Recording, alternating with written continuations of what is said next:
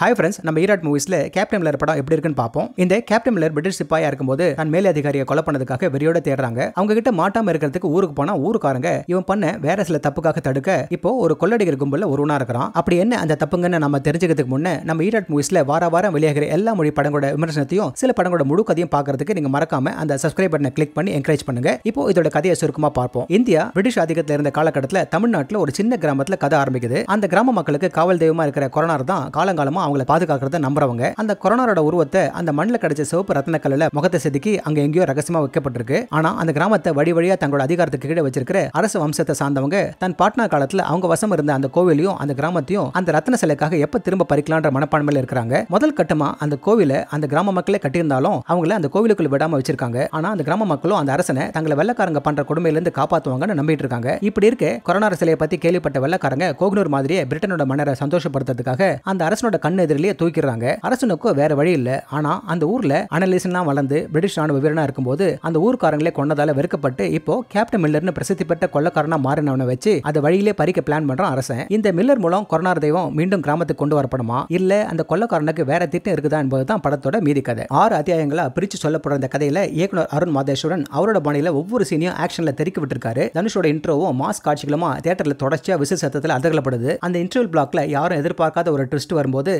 தனுஷ் பைக்ல வேகமா போயிட்டு திரும்பி பார்க்குற சீன்ல ரசிகர்கள் ஒரு உச்சத்துக்கே போறாங்க.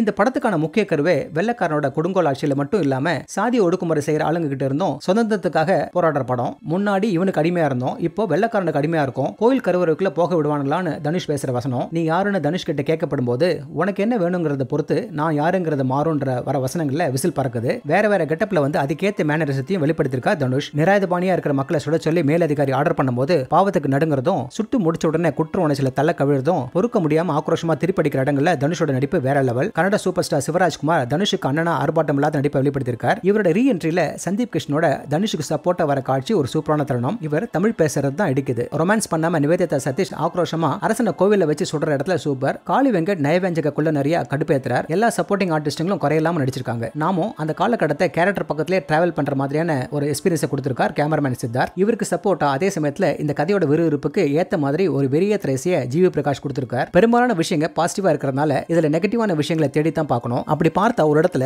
இந்த பசுக்கா மாதிரியான கண்ணை தனுஷ் யூஸ் பண்ற மாதிரியா காமிச்சிருக்காங்க. அது மாதிரியான செயல்பாட்டோட இருக்கிறது நைன்டீன் ஃபார்ட்டி டூல தான் லான்ச் ஆனதுன்னு விக்கிபீடியா சொல்லுது. அப்படின்னா வேற சில கேள்விங்க வருது. திரும்பவும் படத்தை பார்க்கணும். அடுத்து அடக்குமுறை சாதிய பாகுபாடுன்னு பல விஷயங்களை தொட்டிருந்தாலும் கடைசியில இயக்குனர் என்ன சொல்ல வரார் மில்லர் என்ன சாதிக்க போறார் என்பதை படத்தோட அடுத்த பாகத்தை பார்த்துட்டு தான் ஒரு முடிவுக்கு வர முடியும். அதனால அந்த கவலையை விட்டுட்டு அதுல பிரிட்டிஷார் மற்றும் அதிதி பாலனோட பழிவாங்கும் படலத்தை எப்படி சமாளிக்க போறார் நம்ம கேப்டன் மில்லர்னு ஆர்வத்தோட காத்திருப்போம். இதுல வர அதீதமான வன்முறை காட்சிங்க சிலருக்கு ஒத்து போகாம இருக்கலாம். அதை மனசுல வச்சுட்டு இந்த படத்தை நீங்க தாராளமா பார்க்கலாம். ஓகே ஃப்ரெண்ட்ஸ் இதே போல இன்னொரு சுவாரஸ்யமான பட விமர்சனத்தோட சந்திக்கிறேன். இந்த விமர்சனம் உங்களுக்கு பிடிச்சிருந்துச்சுன்னா உடனடியாக லைக் பண்ணுங்க ஷேர் பண்ணுங்க. நன்றி.